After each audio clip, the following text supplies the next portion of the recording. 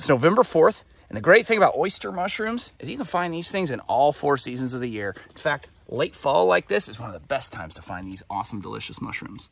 When you locate these mushrooms, you want to look and make sure the gills are fairly crowded underneath and they descend the stalk.